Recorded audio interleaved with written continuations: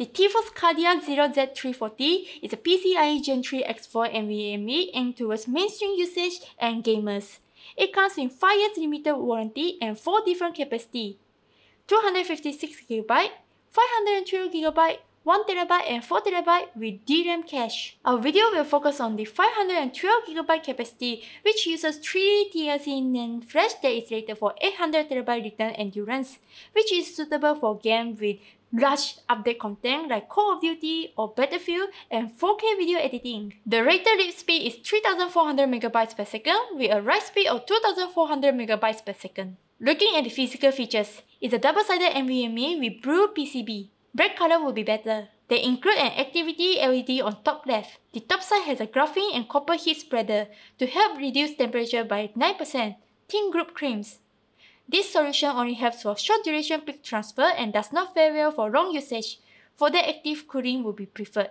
From our test, the max temperature we got was around 62 degrees Celsius in the air-conditioned room with an ambient temperature of 25 degrees Celsius and one Noctua fan blowing air directly at the NVMe.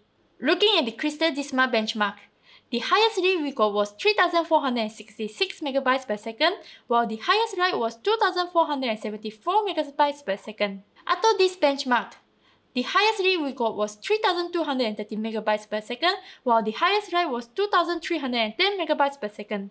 AS SSD benchmark. The highest read we got was 3088 MB per second, while the highest write was 2199 MB per second. Keep in mind, each test is done 10 minutes apart to allow the NVMe to cool down. Here is a 10GB file transfer test.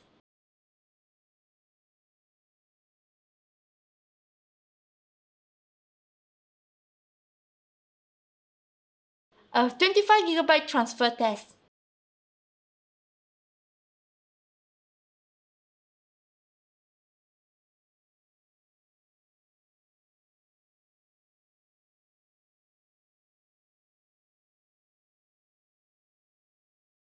After checking the benchmark, it performed well as advertised. If you are a gamer, 512GB is fine, but if you have several large-size games or doing intensive 4K video editing, you might consider getting 1TB and above. Thanks for watching.